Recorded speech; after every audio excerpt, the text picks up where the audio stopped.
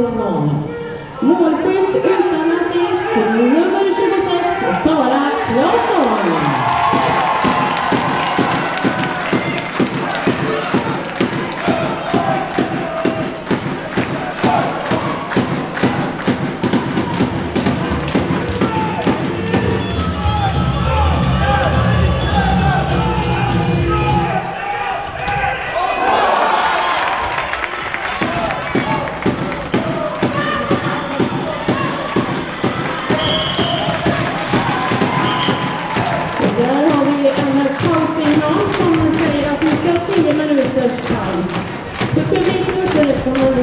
rekommenderar fika i pausen.